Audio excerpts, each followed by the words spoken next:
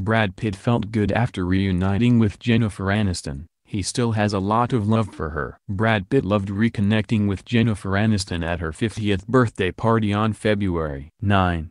Not only did it feel good, but he hopes to become friends with her again. Brad Pitt felt good seeing Jennifer Aniston again and spending time with her at her birthday party. Brad has done a lot of work on himself since being in a relationship with her, so he feels like a different guy. He also still has a lot of love for Jen, his first ex-wife. He hopes attending her birthday party may be the start of a new beginning in their journey together. He is trying to keep an open mind about everything. Fans were surprised to see Brad, 55, who's still going through a lengthy divorce battle with ex-wife No. to Angelina Jolie, had attended Jen's birthday party at Sunset Tower Hotel in Beverly Hills on February 9, but becoming friends with Jen again is something that he has wanted for quite some time now. Our source tells us Brad is in a great place and wants to share his life with people he cares about and to become friends with Jen again would be a big win for him. It's really cool that he can mend fences, and as he gets older, he wants to be in a place where everything is good,